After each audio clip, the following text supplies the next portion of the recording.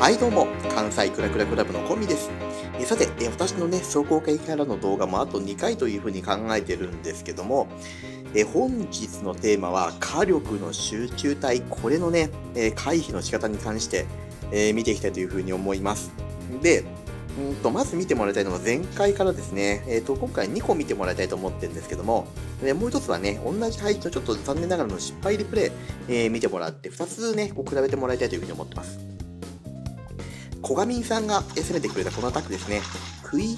ーからの、えー、ホグコウモリです。これね、あのー、ジョーカーさんが動画に出していたり、あと、極上レモンさんがね、あの、ご自身のチャンネルでも紹介されている、結構ね、あのー、面白い編成なんですけども、まあ、超実用的で、めちゃくちゃ強いあの編成になってます。ぜひね、あのー、真似してもらえたらと思うんですが、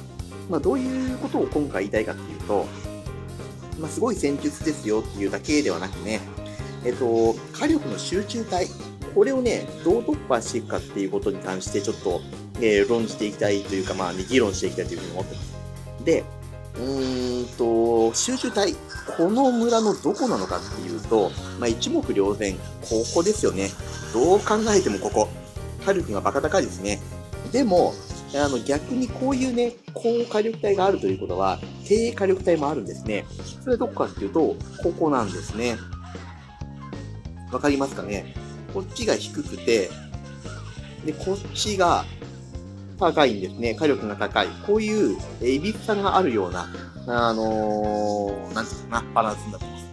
で、そこを突破していくんですけども、今まずホグライダー出してきましたよね。で、ホグライダーを出していって、で、中のギガテスラに向かわせながら、えっ、ー、と、そのすぐね、外側を外周を、コウモリで一気にこう崩していってます。これなんですね。この戦術の面白さ、っていうかまあ面白いところっていうのは、ホグライダーとコウモリを並行させるんですね。まあ、どういうことっていう話なんですけど、うんと、ホグライダーで相手の防衛具のターゲットを取っている間に、コウモリで外側を回していくと。わかりますかね？ホグライダーが要は、ここにこう入ってきますよね、こういう風に。入っていって、ターゲットをこう集めている間に、コウモリをぐるっとこう回していっちゃう。まあ、こんな感じですね。ホグ。コウモリですね。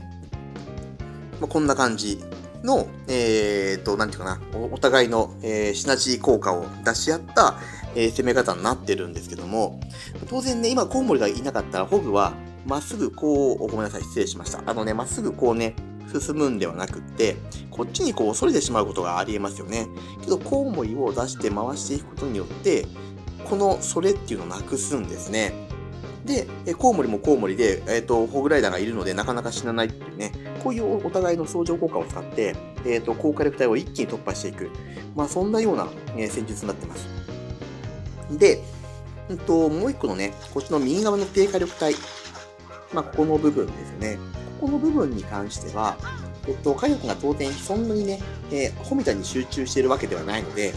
使えるのはやっぱ食い火ですね。あの、非常に相性がいいです。あの火力が密集しすぎていないところにおいては、クイヒープラス0時で、まあ、突破できるんだったら、それを使っていくのが、まあ、かなりね、安定する、低コストで、かつ、えー、戦果を上げやすい、えー、アプローチになってくるかなって思います。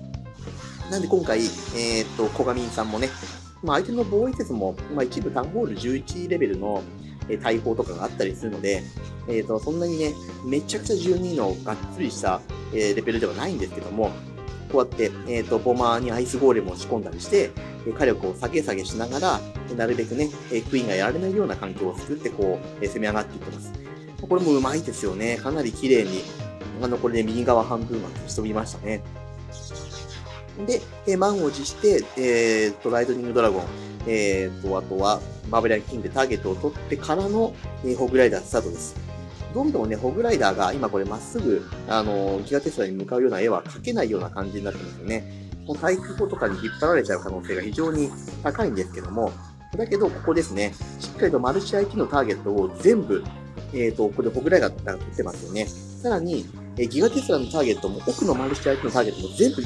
えー、ホグが取ってるんですよ。見てください。これ、コウモリに全然攻撃がいってないんですよね。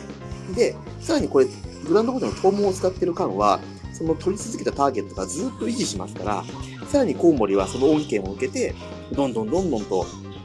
えっ、と、ホグライダーにダメージ、えターゲットが集中している間に、外周を破壊しきって、ホグライダーのルートも確保しながら、えホグがね、トームヒールが解けた後に食らうダメージまで抑制してると。この完璧な相乗効果ですよね。まあ、呪文の編成も見てほしいんですけども、レイジ2発、えー、持ってってるにすぎません。あとはボマーで壁を開けて、一気にね、ここを、えー、この右側半分っていうのを食い火で突破しながら残った呪文枠は全部ホグコウモリに使っていくというところですね。で、えっと、比べてほしいって言ったところっていうのは、うんとね、このアタックですね。えっ、ー、と、イッチーさんのアタックなんですけども、これ2回目のアタック、同じね、配置だったんですが、ちょっと番手が違います。13番攻めたアタック。で、一応ね、あの、これ見る前に言っておくと、イッチーさん、しっかりですね、あの、今回ここで一発目、相手の5番から全開取ってますからね、決してあの、なんで失敗プレイヤーとかそういうわけでは全くなくて、きちんと腕のあるね、凄腕プレイヤーなんですけども、残念ながら2回目ちょっと失敗しちゃったこのリプレイがね、今、えー、小上さんが攻めた村と同じような、同じ配置かな。えー、ちょっと違うか。マルチ IT かシングル IT かの違いありますけども、なので、えー、それをちょっと参考に見てもらいたいと思います。まあ、小上さんもあれ確か初見ではなかったのかな初見だったと思うんですけども、ちょっとね、参考になるような、あの、一歩目がうまくなかったのか何なのか、あの、見つけられなかったので、ちょっとね、この一気さの卓球で、えー、変わらせてもらいたいと思ってます。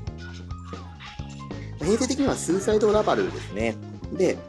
えっと、右側の半分の、えっと、低火力体、ここのとこですね。これはもうバーバリアンキングを使って今、削りに入っていってますね。まあ、さらに相手の防衛ンド出てきて、このラバーハウンドに関してはアーチャークイーンがアプローチします。でちょっとね、取ってほしくなかったんですが、ラバがなんといやらしく溶けちゃったんですね。これ弾けちゃって、ハピーになったところで、えソラパートスタートです。こうするとね、ちょっとね、あの、バルーンたちではパピー倒せないんで、どうしても自力になってしまうことがまあなってしまう。まあ、それでも結構ね、えっ、ー、と、いい破壊率にいってるので、決して、あのー、撃破されるような攻めでは全く持ってないんですけども、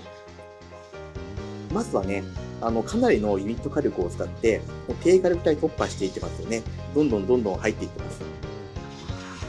で、ここでトームですね。ウィズトのダメージが結構ね、あの固まっているバルーンに入ると厄介なんで、まあ、早めにトームを使っていったと。あとは、まあ、その、えー、グランドウォーデンにね、えっ、ー、と、ラパパピーが結構いやらしくアプローチをかけてたんで、ね、それを、えー、追い払う、えー、追い払うというか、それがあったがために、トームをもう早々と使わざるを得なかったっていう状況も半分ありましたね。ただ、バルーンがあんだけ残ってて体力も満タンにしてあったのに、この中央に入った瞬間に、こうやられちゃうんですね。もうドドドドッと一気にあっという間にバルーンが、あっという間にバルーンが消えるんですね。